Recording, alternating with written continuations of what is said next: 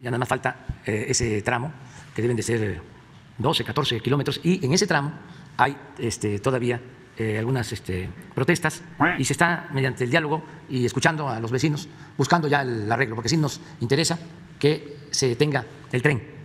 Si terminamos el tren, la, eh, ese nos va a llevar hasta el año próximo, calculo que en el primer trimestre del año próximo, pero se van a poder hacer 45 minutos desde Buenavista al aeropuerto desde el centro de la ciudad al aeropuerto en ese tren, 25 minutos. Entonces, sí es una obra importante y sí vamos a, a seguir hablando con los vecinos para resolver. ¿Mande? ¿Hay la posibilidad de que se le viera esa, ese asunto de elevar? Sí, se, se está analizando. Se está analizando, sí, todo lo que convenga.